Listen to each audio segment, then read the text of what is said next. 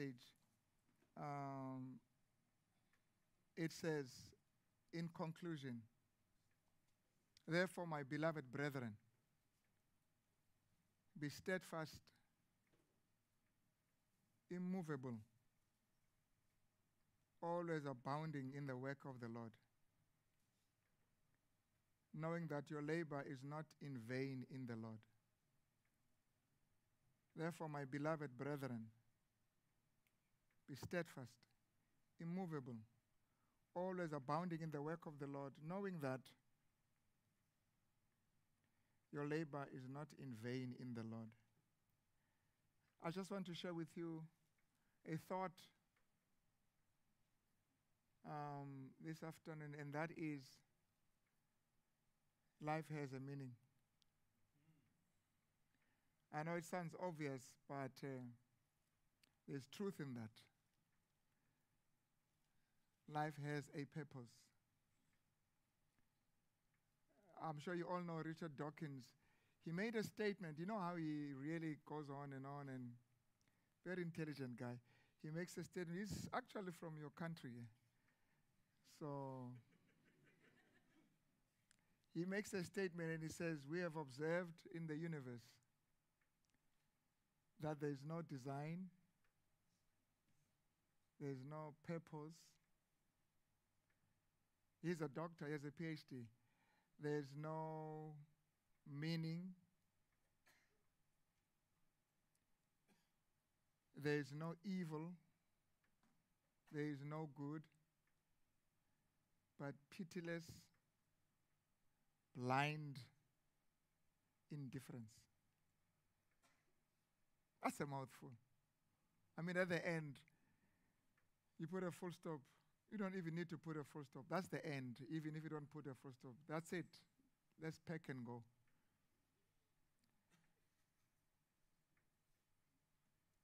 And he crisscrosses the country, actually the continent, sharing that message.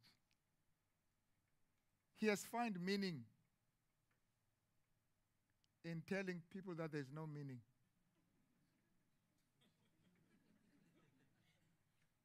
Because that keeps him going. It makes him to study, it makes him to research, it wakes him up in the morning. So it has become his meaning, his purpose in life is to tell people that there's no purpose. And the question is, what does it matter? If you don't tell them, so what? What difference will it, will it do? We all end in a big hole, dark hole, with no end. So, what does it matter for you to be wasting your time and telling people that there's no meaning to life? What? I mean, it doesn't matter. Um, if you say there's no evil, there's no good, somewhere he, uh, in, in God uh, uh, uh Delusion, his best selling book, um, he um, went places describing who God is that is a misogynist, is a cruel God, is a sadistic, sadistic is, is this, is that. And then, but the point he was trying to make was that he doesn't exist.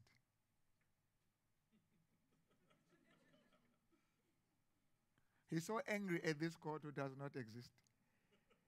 And he wants the whole world to know that God does not exist and is a cruel God. Why are you angry at a being that does not exist?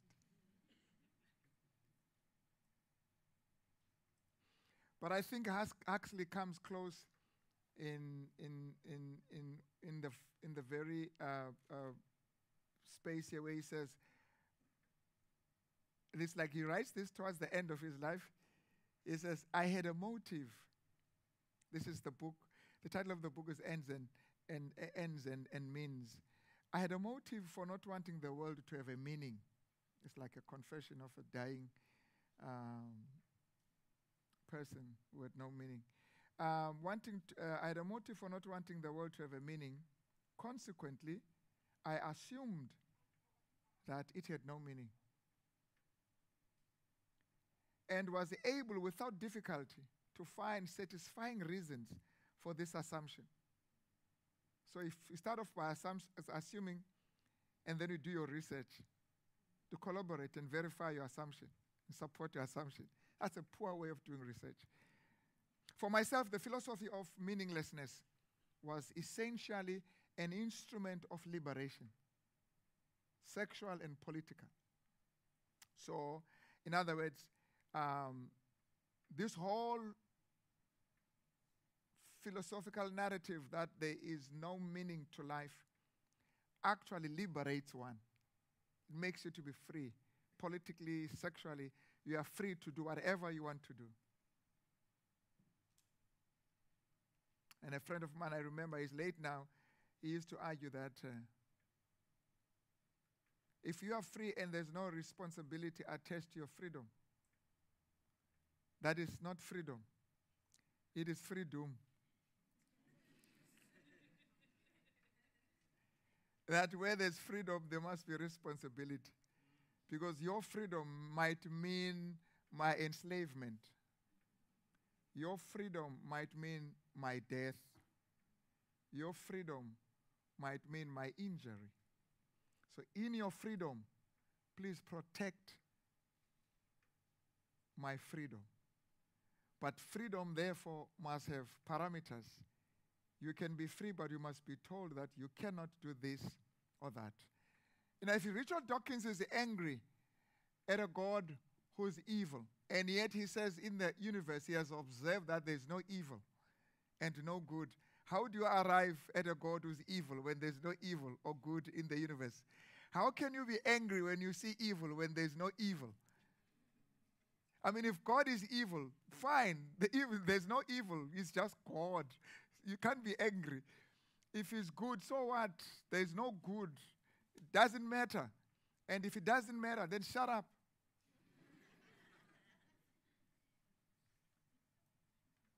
I don't know how many of you know Charles Templeton. Charles Templeton used to be in the league of Billy Graham in terms of being a, a Christian evangelist. I mean, he would pack easily 30,000 in a hall to listen to him preach. He was that uh, powerful. He wrote in 1991, he wrote a book, um, Farewell, Farewell to God and then my reasons for rejecting the Christian faith. Now, here's a point that I need to say to you. Um, I may not find time to really argue it out. If you can accept Christ, you can reject him. It is okay to reject Christ. You see, he can be rejected, it's not impossible. And you don't have to feel guilty as long as you have applied your mind to reject Christ. And people should not persecute you for rejecting Christ. Because rejecting Christ is always an option. When you reject Christ, it doesn't mean you are this very intelligent person. Anybody can do that. You can accept Christ, you can reject him. By the way, Christ has no problem in being rejected. Of course, he's concerned, but he will not kill you for rejecting him. You see, because he's in control, he's not a control freak. You remember, you remember there in, in, in, in the Bible, there was this young rich ruler who came to Christ. And he says, Master, what can I do to inherit? I'm not moving today. I'm going to stay in there right until the end of the sermon. I'm wearing a jacket. I'm going to get so hot, and so, so I'm going to be a nice guy. So he says, Do you remember? Do you remember? Uh, or not? He didn't say, Do you remember? You're making me say things that I'm not supposed to say. So he says, He says, How can I inherit eternal life? Christ says, Keep my commandments. Remember the, the story, the dialogue. And then at the end of the dialogue, he leaves. He says, There's no way I'm going to sell everything I have to follow you. Sorry. I want to go to heaven. But if I can't go with my car, then I'm not going. So he leaves. Now, Christ is God, He's powerful. He didn't even try and, and, and curse him or SMS some tragedy or whatever, WhatsApp, whatever bad things that would happen. He didn't. He could have done things. He could have opened the hole so that the guy would just fall in. He didn't. He allowed him to go. Let me tell you something, beloved. And that's, that's to me, is liberating to know that today I'm preaching in front of you. Tomorrow I can turn my back against God and reject Him. That's always a possibility. Here's something I love about loving my wife I can divorce her.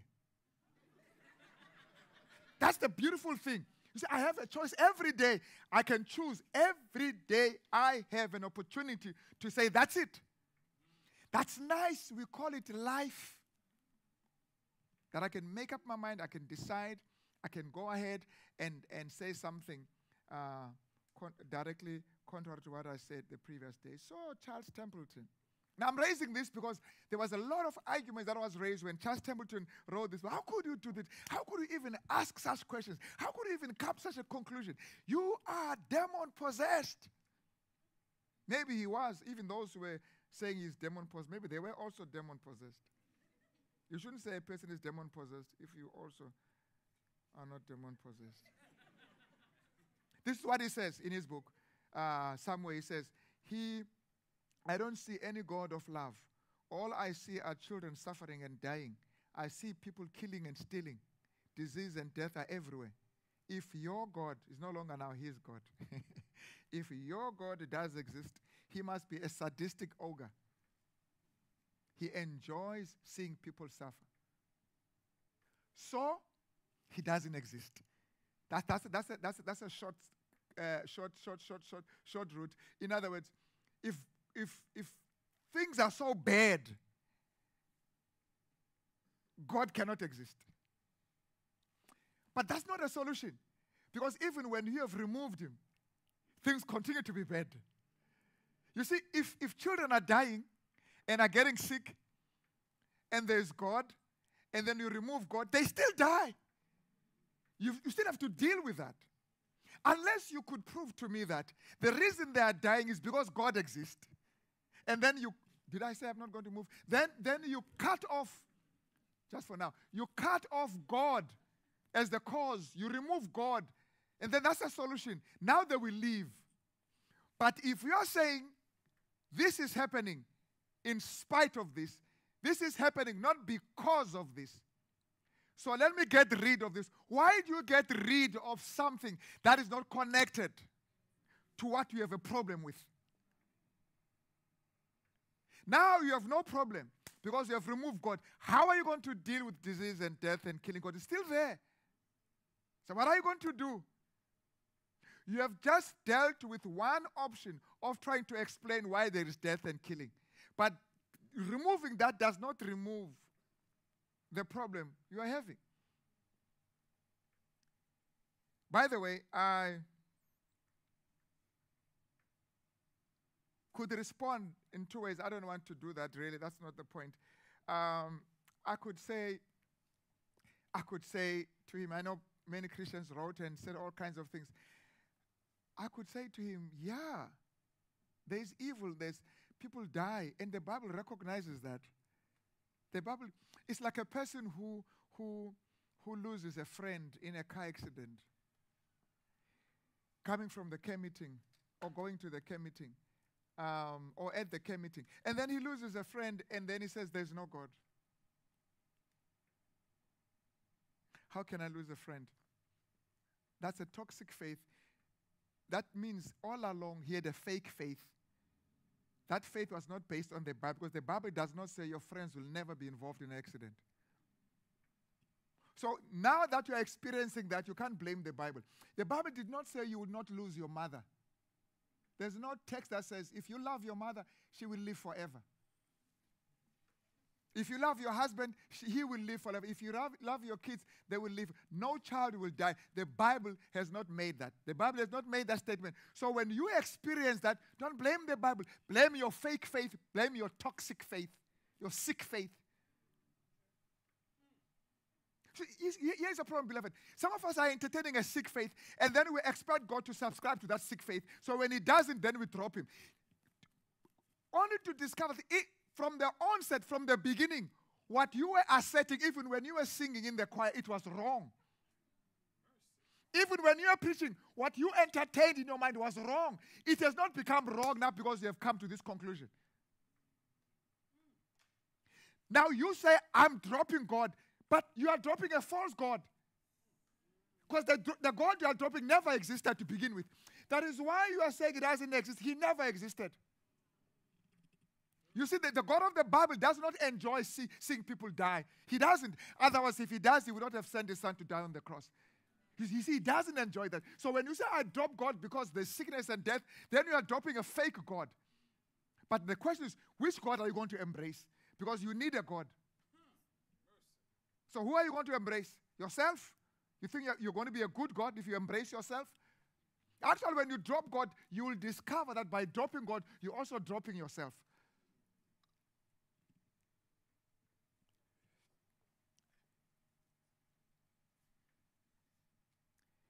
This world is cruel. That's a fact. But how do you deal with that? This world even crucified God. You think this world plays? As we say, as we say in some countries, in some accents there in South Africa, this world is not a joke. It's not a joke. So this there's no joke here. We're not joking here. Things are serious here.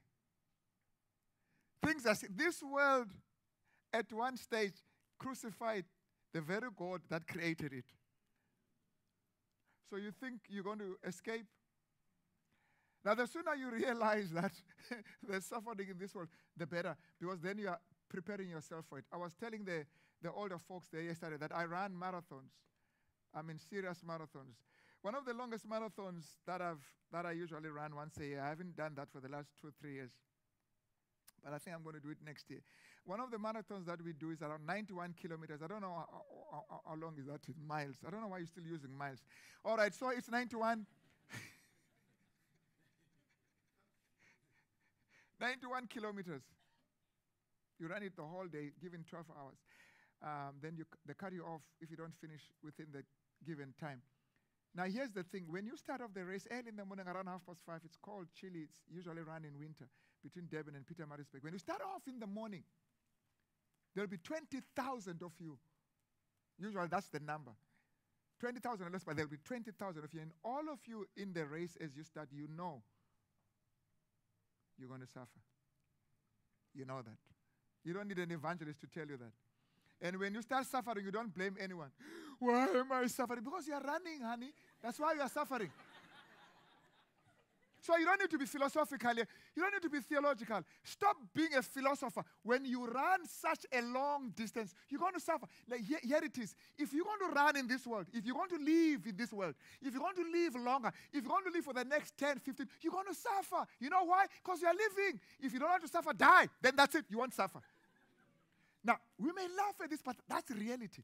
The sooner you realize that, that the friends you have now will not always be there.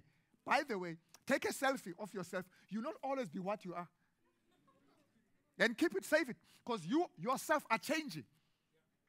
And stop falling in love with yourself and worshiping yourself because you are worshiping a changing creature.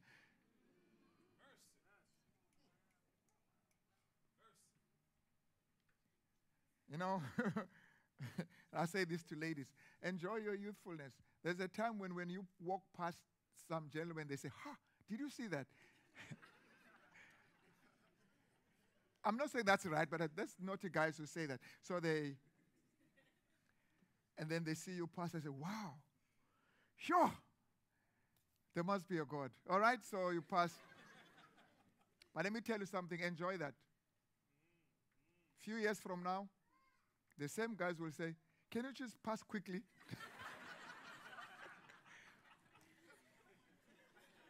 Few years ago, you were attractive.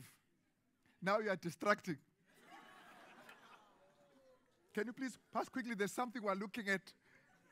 It happens in this world. So don't drop God when you've become aged and ugly. That's what happens when you grow. You don't grow to be beautiful, you grow to be ugly and aged and you die. It's true. Now, the moment you accept that, then you are able to live your life. That, hey, there, there are times, that is why you owe it to yourself with your friend, to enjoy life with your friend, to do the best you can for your friend. Be there, support each other. Because 10 years, 20 years from now, she may not be there.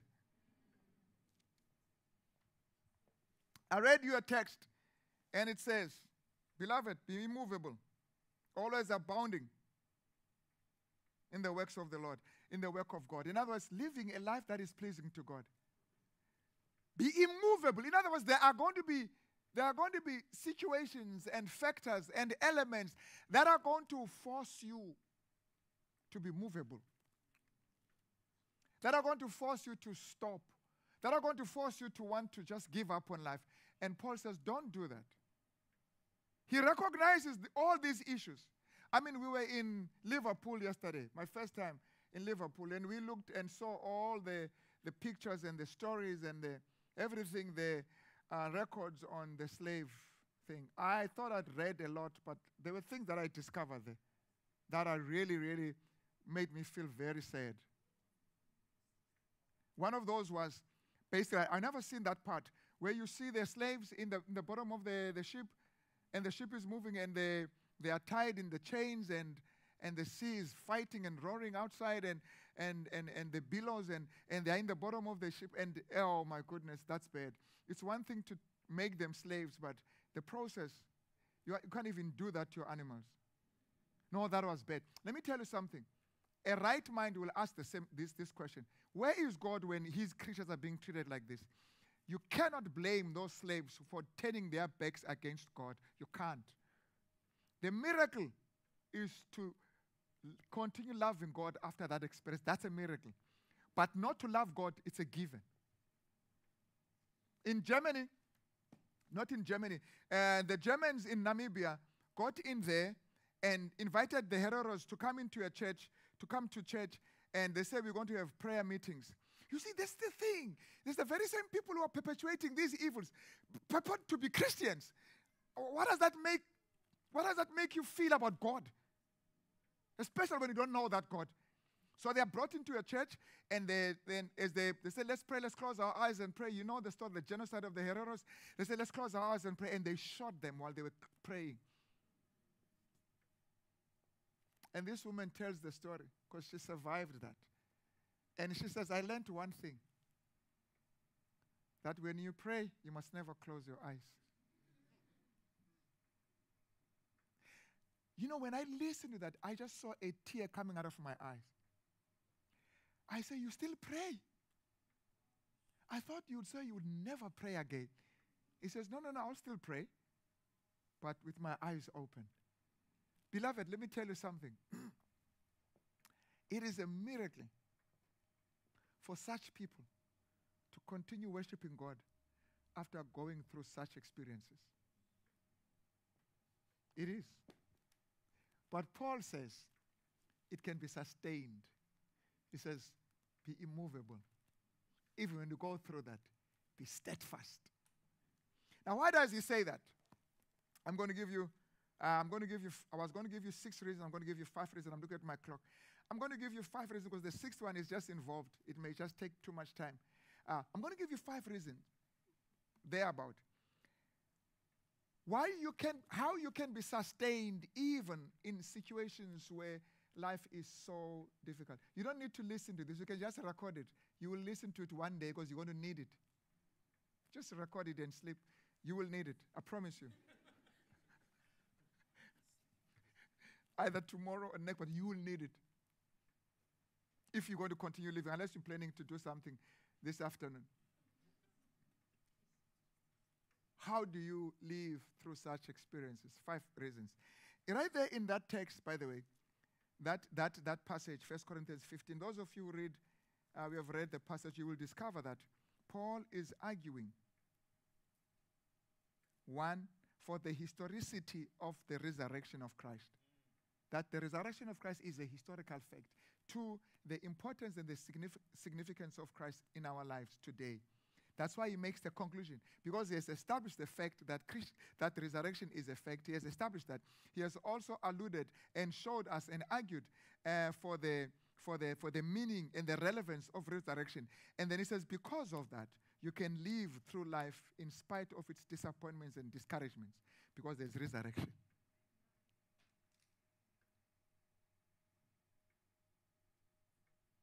So he's, he's not addressing life in its challenges. He's addressing the next life. He says, You can live this life with all its, with all its pain and, and discouragement. You can live this life. You can, you can be immovable in this life because of your hope for the next life. Now, that's problematic for many. I remember a guy who said to me, Pastor, do you really believe that Christ is going to come, pop out from the heaven? Do you really believe in that story? That's, that's a children's story. When they don't want to sleep, you tell them that story. Not for Paul, and not for us, and not for many of us. And then Paul says, first of all, he establishes the fact that there is resurrection. I'm not going to get into that. Um, there was a time where uh, people thought that this whole thing of resurrection is a fake. Now, you see, miracles are difficult because they don't happen every day. That's why they are called miracles. and so, if you report a miracle that, that does not continue happening, uh, of course, it's not going to be a miracle if it continues happening. Um, then people have a problem accepting that. Let's face it, if resurrection did not happen, if Christ did not rise, rise from the dead, there would be no Christianity. Christianity is based on this one big pillar, that is Christ resurrected. That, that's what separates Christianity from all other religions. You are worshiping a God who died and resurrected. You are worshiping a Savior, your leader, our Savior, our Lord and King who died and resurrected. If He didn't resurrect, then close shop. There's no hope for the new life if He couldn't actually um, uh, defeat, defeat death. So, so Paul argues in the beginning passages there that Christ died. He was buried in a tomb. He rose he was seen. They touched him. He ate so many 500 witnesses saw. And he says, That's it. It's established. It's a fact. That's how you establish a fact by bringing witnesses, by, by, by, by, by adducing evidence. People are judged and condemned in court, and the judge had never seen them do that based on evidence. You can't say as you argue, Did you see me? No, we just have witnesses that saw you. And those witnesses are credible. There's evidence. And so Paul uses that evidence to say Christ did indeed resurrect. All right? Then on that historical fact, then he argues and says, This is the implication of that fact. This is why you must embrace resurrection. Number one, 1 Corinthians 15 26. Death is an enemy. The last enemy that will be destroyed is what? Is death. And then right there, right there, Paul seems to be arguing and defending this God and his character. And he says, You are complaining about death and misery. God regards death as an enemy as well, not as a friend. God does not use death to bring glory to Him. God does, does not employ death. Death and God are, are enemies. God has a plan to destroy death. Now, if you destroy God because of death, then death is going to destroy you. Now, but if you embrace God who's going to destroy death, then you stand a chance of witnessing death being destroyed. You see, the assumption, the assumption for many is that God has no problem with death. So kids die, they get into disease, people are enslaved and they die in, in, in, in the transatlantic slave route, whatever. And people, they, they think God has no problem with that. They, they have a problem with a God who has no problem with that. But Paul says God hates death that death is an enemy. But here's the point, beloved. Christians have, have, have tied themselves into a into a, a, a quagmire, into a, a corner, into a situation where they are in trouble because we we have taught that the Bible teaches that death is actually a transport for people to, to heaven. When everywhere you turn around, everywhere you open your eyes, you hear Christians saying that death is fine. Your mother is in heaven. Your mother is praising God in heaven. Relax. This child who was raped and strangled actually has gone to heaven. So God has used the rapist to bring your child to him to heaven. He's one of the flowers in heaven. He's singing in the choir, but he had to be raped to go and sing before God. Now, when people like Dawkins reject that God, then we cry foul. They have to, because that God does not exist. You see, the God we have says, Death is an enemy and it will be destroyed. See, that's why Adventists believe that when you die, you're dead. You rest. You're sleeping unconsciously. You are neither in heaven nor in hell for a good reason. Because before you go either way, there must be a determination. That's going to be transparent. I'm not going to get into that. So don't have a God here who enjoys. Because if that is the case, if, if death takes people to heaven, then we must celebrate each time when a person dies because he has gone to a better place. Let's celebrate. Hey, Mary has died. Ooh, she's lucky. She's lucky. Because now she's in front of Jesus. She doesn't have to worry about winter and summer. She's lucky because it's always cool there. And yet we don't celebrate. And to crown it, we don't want to go there. We're doing everything not to go there. And when a person goes there, say, he's gone, but no one wants to go. The Bible says the dead are dead and they remain and waiting for the coming of Christ. Now, we need to wrap our minds around it. Young people, do yourself a favor. Get to know what the Bible says because if you don't, you're going to be lost. Do yourself a favor and root yourself in the Word of God. I wasn't a Christian for some time. This is not a story about me. And I used to read my father used to buy, you know, the, the, the author the, by the name of James Hadley Chase? How many of you remember that author, James Hadley Chase? It's only those, those of us.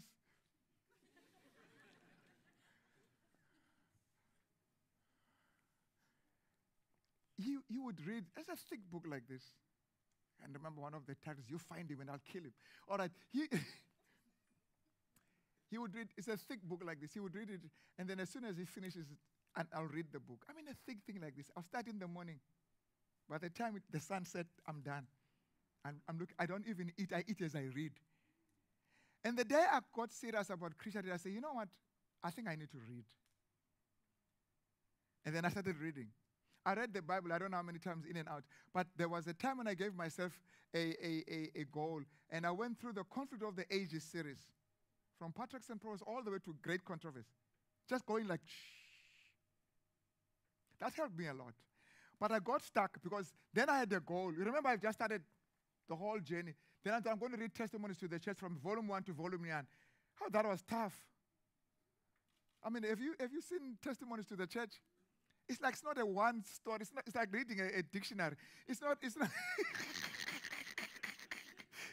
You're on this point, and then it goes to another one. It's not a narrative. Brother so and so, I saw, I said, What are we doing here? I mean, but I told myself I'm going to go to volume one. I finished volume two, volume three. I'm going to volume. That I didn't finish that. I must confess. I just somewhere I said, ah ah hi hi hi. This thing doesn't doesn't come together. All I'm trying to say, beloved, I know we're living in the time of media and stuff like this. All little things, uh, short things where we just write short messages, SMS, and short, short, short, short. Please go read. Take time and read. I don't care whether you read from Kindle or whatever, but just read. Just read. You owe it to yourself. One day you're going to have kids, they're going to ask you questions. You want to be able to answer because you're not reading. And they will be disappointed because they have a father who can't answer questions.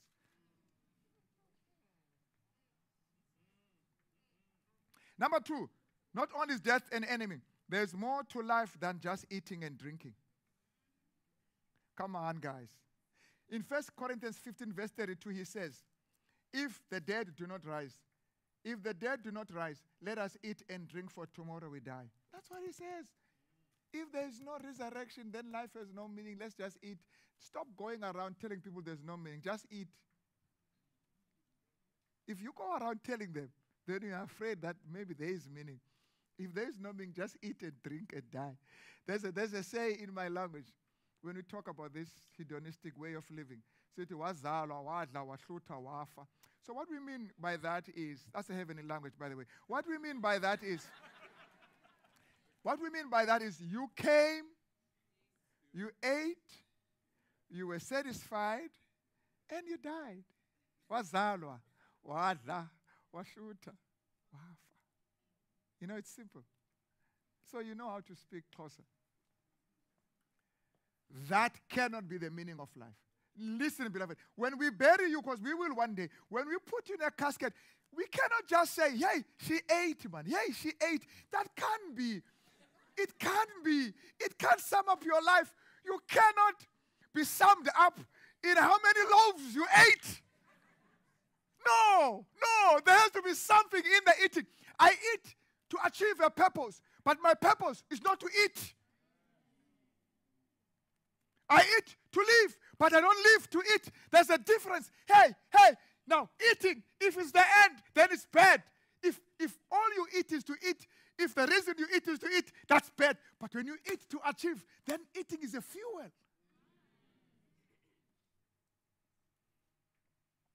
Now you're going to be corrupt if you start eating. If you live to eat, you're going to be corrupt. You think you are here to eat. You want to eat what you are supposed to eat and eat what others are supposed to eat. That's corruption. Start stealing, doing things. It's terrible. You never want to be enslaved by yourself because people are cruel and you can be cruel to yourself. I've seen people killing themselves. People are cruel. The heart is deceitful. It can even attack its owner. Give it to God, then you are safe. Then it continues to say in verse 34 stop sinning. Awake to righteousness and do not sin. Now, this is very important because most of the people who have a problem with God then go on and sin and kill themselves in the process. Well, the wages of sin is death. Now, here's the thing: once you drop, once you drop God, you've got to find death attractive. Not only will you kill yourself, you'll enjoy killing others. It is only when God exists that you will actually move away from anything that is opposed to life. You see, Christ says in John 10 10, I have come that I might have life and have it abundantly. One of the things that happen when you give yourself to Christ is you begin to have an appetite for living. Christ injects this appetite for living. You just love life when you walk with God. But the moment you drop God, it's like a little kid. Have you seen kids?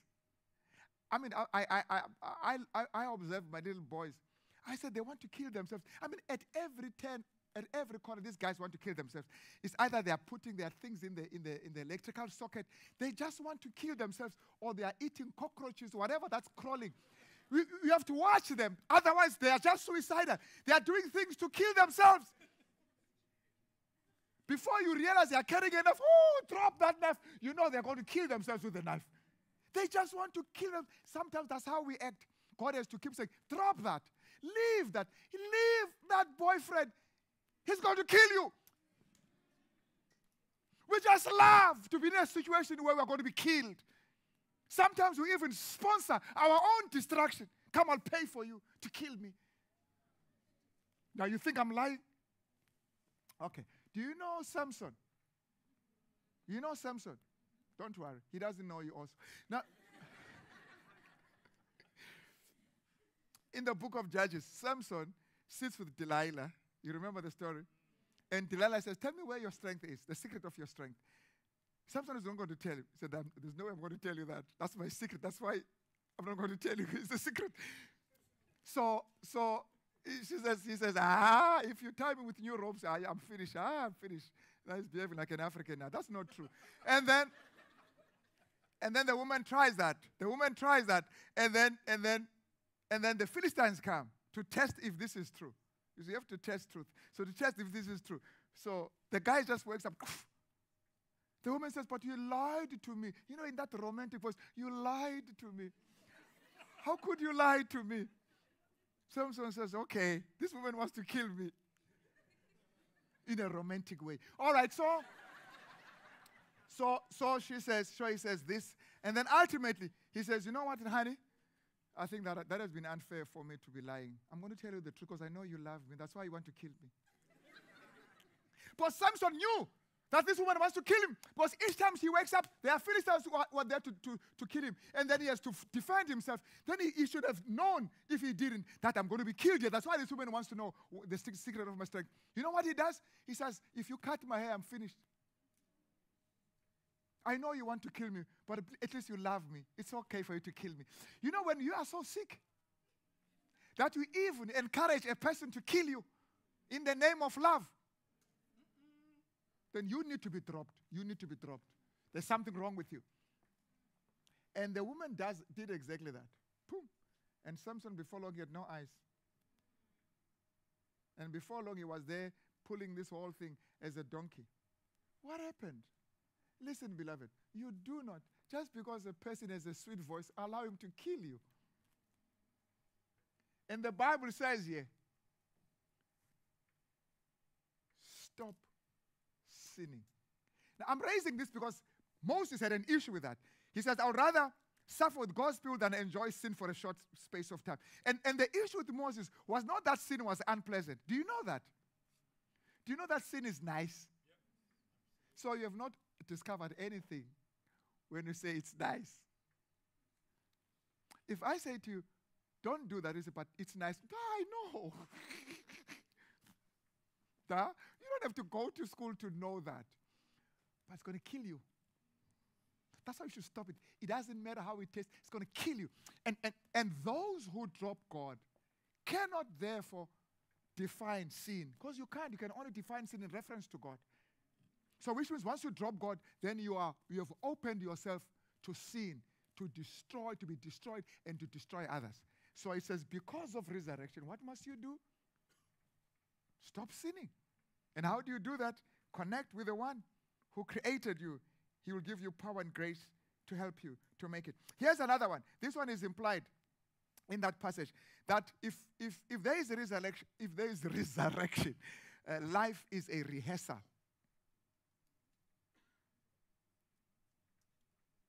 Think about it. Think about it. If, if, if, if, if there is a resurrection, then all we are doing in life, we are rehearsing. The actual living will take place after this life. So when we meet disappointments, that's why we should not be movable because this is not the end. When we meet discouragement, that's why we must be steadfast because this is not the end. You can only have that perspective. You can only have that philosophy when you accept the assumption that the life I have is actually a training ground for the next life. You know those guys who play nicely here, and you guys sing very well, but I didn't say that. You sing very well. You know those guys who play here?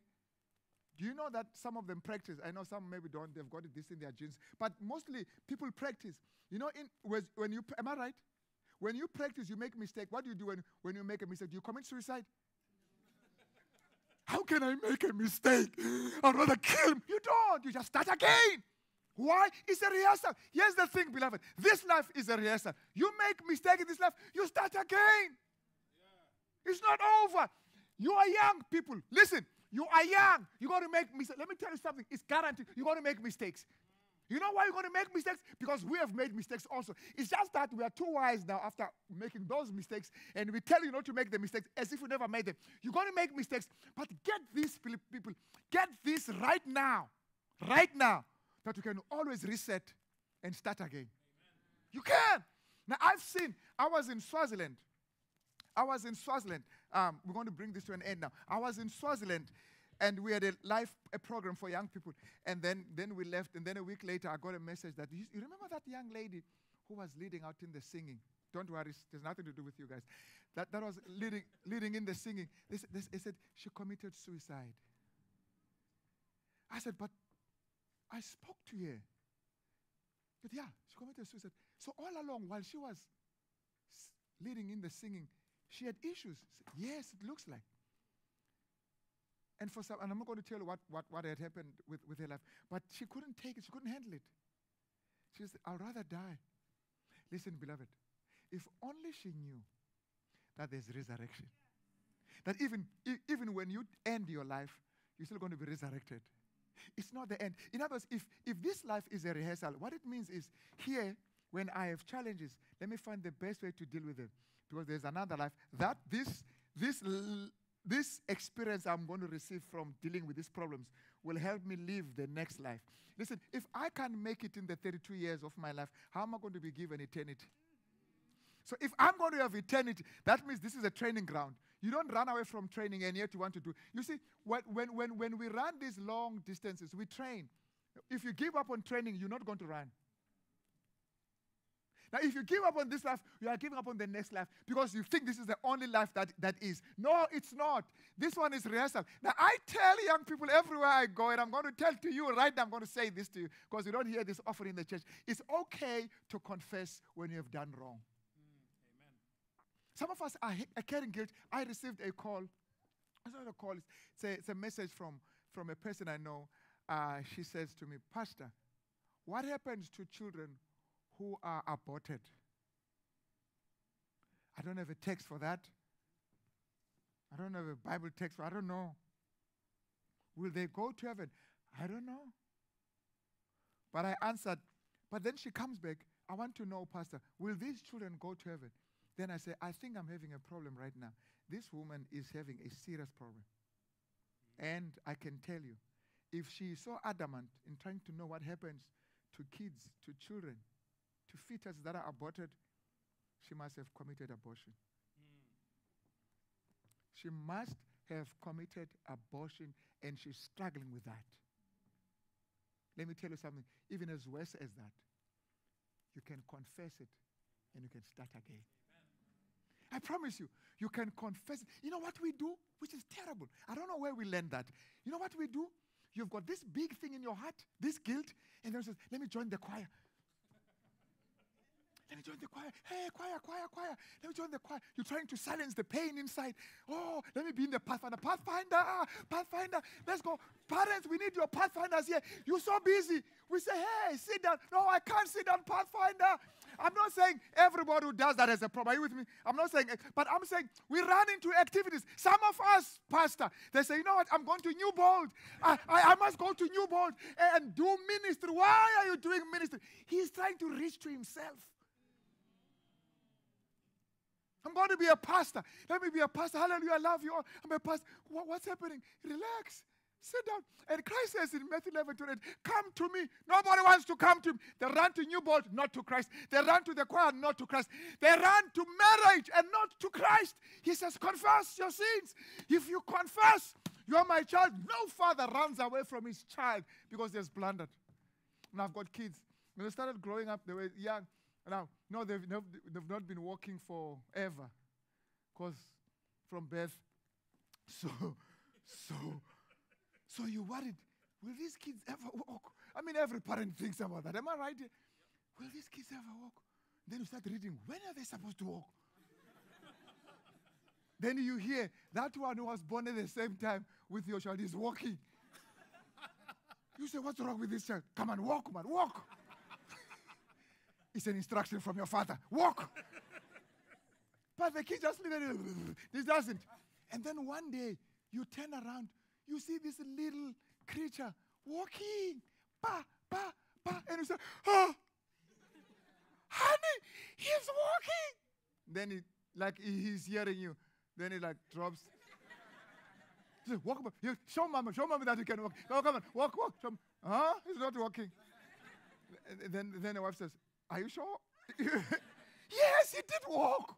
Of course, there were no clips then where you can just have evidence. Look, I've, I've, we didn't have such. At least you have that. Then you can keep it. Hey, but I know in my mind this thing can walk, man. I saw it walking. eh? So I, I have this thing that says he can walk because I saw him walking. Yes, he may not be walking now. There's no parent who runs away from his child because he walked and then he fell. That's the point I'm trying to raise here. When Peter walked on the water, beloved, do you remember? Ta! Now I can swim in the water. I mean, maybe I can a little bit. But but I mean, swimming in the water is a skill. Am I right? Yep. Some of you are born with that skill, but some of us have to learn. Swimming in the water is a skill. But walking is a miracle. You can never be trained to walk on the water. Amen. It's a miracle. So, so Peter says, Christ, he sees Christ walking. He says, Ah, I can walk also. Can I come and walk? You don't have to stay in the boat. There was no reason for Peter to want to walk, but for some reason, out of curiosity, he says, I want to walk also. Christ says, Come. Because I don't want you to go around saying, Oh, he walked because he was Christ. You can also walk.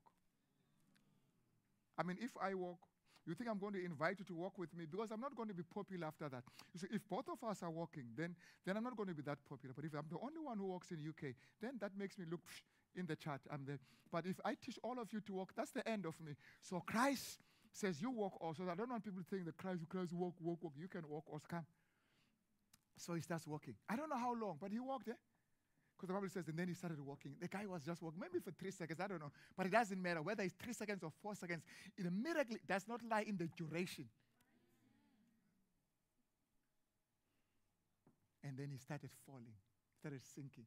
He cried and Christ lifted him up. And I've heard people preach, yeah, even that Peter of yours was trying to walk and he fell. Do you know why Peter fell? My friend, do you know why Peter fell? Because he was walking. You see, people who, who walk run the risk of falling. And lack of faith, you're right. People who walk run the risk of falling. And the reason why your members in your church there where you worship will say, you know that little girl, that one that leads, the one that is the, the, you know, you know what has happened? She has fallen. You know what they are saying? That you were walking. And their own little girls have never fallen. You know why? Because they never walk. And I say to you, young people, and I'm telling you this before you fall, that when you fall, like if you fall, we have an advocate.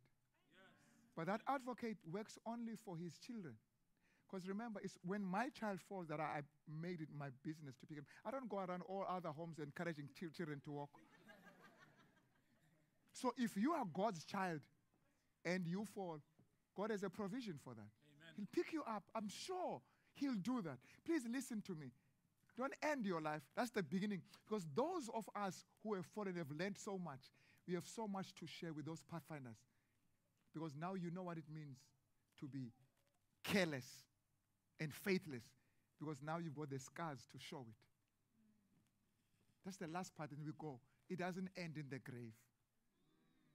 You need that open thing, then when the casket goes down, that thing is going to, going to pop up again.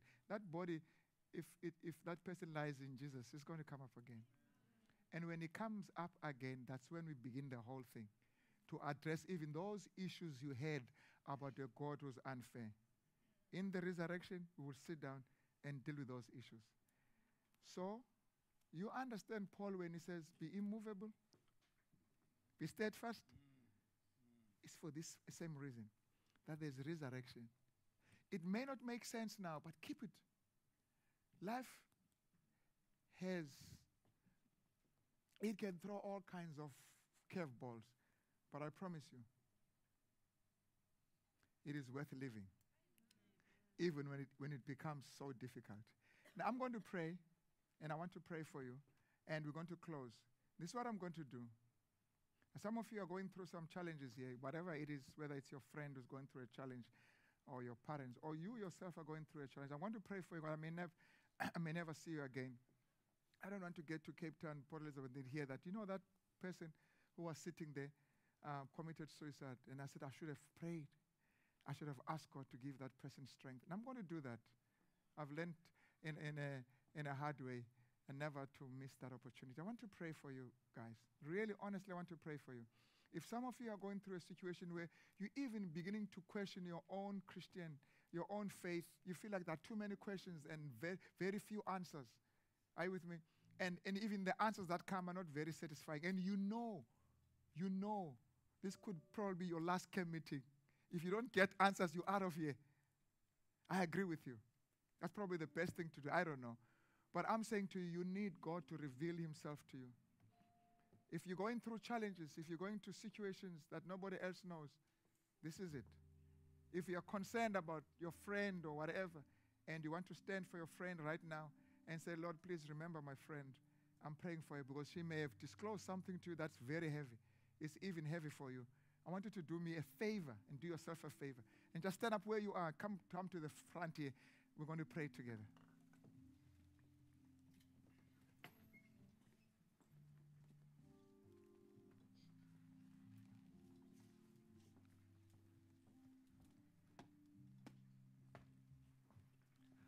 I'm going to pray to God that you, you may be immovable and steadfast. I don't know what challenges you're facing. But I promise you, you can be immovable. You can deal with those challenges. Don't drop God. Because once you drop God, you've lost meaning. You have no reason to live. Don't drop God. Stay with Him. Stay with Him even if He doesn't make sense. Stay with Him. Stay with Him. He will make sense. He will reveal Himself. Ask Him those difficult questions. Ask Him. I'm not saying don't ask. Challenge Him. Ask Him. Do whatever. But stay with Him. Be immovable. Be steadfast, and God will come through for you. Let's pray together. Our kind and loving Father, here we stand as these young people, full of life, full of hope. But some of us standing right here have experienced difficulties and hardship. And some of us are about to experience hardship and difficulty. But Lord, this life is a rehearsal. We're ready.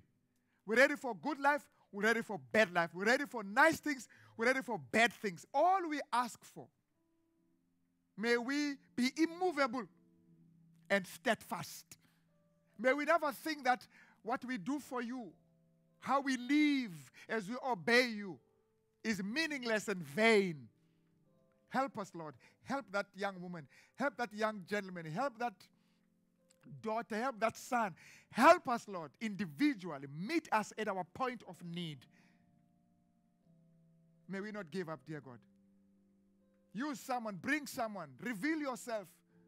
And may this sermon that we have shared in the last few minutes, may it be a breakthrough for some, or for someone, Lord, who was also wondering whether you care. You do care. This world is enveloped in sin, a disease called sin that makes us not to understand why things work the way they do. But there's a world that's coming. And that world will help us understand what was happening here. May you keep us, uh, sustain us until that day. Faithful. And where we have erred and where we have sinned, dear God, please forgive us. Forgive your children. We confess. And I confess on their behalf, Lord, and accept us. In the name of Jesus Christ, I pray. Amen. Amen. God bless you guys. God bless you.